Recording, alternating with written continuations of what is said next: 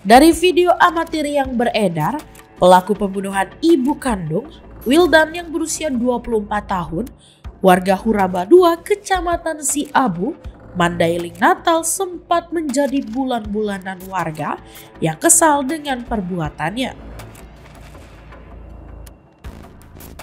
Puluhan warga berusaha menghakimi pelaku yang baru saja diciduk setelah menganiaya ibu kandungnya menggunakan senjata tajam hingga merenggut nyawa korban. Kejadian itu berlangsung pada Senin pagi di rumah korban Rohani yang berusia 66 tahun di Desa Huraba 2, Kecamatan Siabu, Mandailing, Natal. Kapolres Mandailing Natal, AKBP Ari Sopandi Palo, menjelaskan bahwa peristiwa tersebut berawal ketika pelaku meminta uang kepada korban. Pelaku kemudian mengamuk karena tidak diberikan uang yang dimintanya. Kesal karena tidak diberikan uang, pelaku mengambil parang dan langsung menebas leher ibu kandungnya dari belakang, hingga korban tersungkur dan tewas di tempat. Usai menganiaya ibu kandungnya, pelaku melarikan diri ke arah persawahan dan bersembunyi di sekitar ladang warga. Polisi dibantu warga setempat bergerak cepat mengejar pelaku. Beberapa jam kemudian, pelaku berhasil ditangkap di sekitaran persawahan Desa Huraba 2, Kecamatan Siabu, Mandailing, Natal.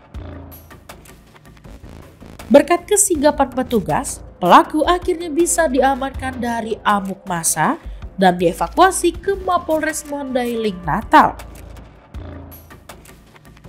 Motif pelaku melakukan penganiayaan ini diduga akibat ketergantungan terhadap narkoba. Emosi pelaku tidak terkendali saat korban tidak menuruti permintaannya. Namun, untuk memastikan motif pelaku, polisi masih melakukan pemeriksaan kejiwaan pelaku serta memeriksa ketergantungannya terhadap narkoba.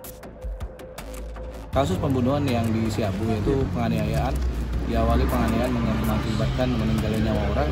Korbannya Ibu Rohani, usia 66 tahun, dengan tersangka atas nama Wildan. Wildan ini adalah anak kandung dari Ibu Rohani. Kalau dari kronologis yang kita peroleh, Wildan sebelumnya meminta uang kepada ibunya, yaitu Bu Rohani, dan saat itu memang orang tua tidak ada uang. Sehingga karena posisi di rumah, yang bersangkutan tersangka langsung mengambil parang yang ada di sana langsung mengayunkan parang tersebut ke bagian belakang kepala atau leher dari Bu Rohani. Dan saat itu juga Bu Rohani jatuh tersungkur, eh, kemudian meninggal. Dan pada saat itu Wildan melarikan diri, sempat melarikan diri ke arah ladang. Polisi beserta warga masyarakat ikut mengejar dan akhirnya tertangkap oleh anggota kita, Polsek Siabu dan Polres. Kemudian eh, kita bawa korban sekaligus tersangka ke RSUD Madinah dan saat ini sudah berada di Polres Madinah. Itu ada dugaan awal yaitu bahwa si pelaku ada yang menyebutkan ada kekurangan mental atau psikologi terganggu. Itu sedang kita bekerja sama dengan uh, pihak rumah sakit untuk memastikan psikologisnya apakah dia ODGJ atau tidak. Yang kedua terkait yang bersangkutan juga ada indikasi sering meminta uang untuk beli minuman keras ataupun membeli narkoba itu akan kita kerjasama dengan Sat Narkoba dan BNN untuk memastikan kondisi yang bersangkutan apakah dalam pengaruh obat-obatan atau narkotika yaitu sementara. Pasal yang dikenakan pasal 338 terkait menyebabkan orang meninggal dunia. Ancaman hukuman sementara itu sekitar 15 tahun penjara. Pelaku sendiri sunan sudah ditahan di mana? Saat ini ada di Polres di sedang kita lakukan pendalaman oleh Satreskrim Polres Mandalika. Untuk mempertanggungjawabkan perbuatannya, pelaku akan dijerat pasal 338 KUHP dengan ancaman hukuman 15 tahun penjara.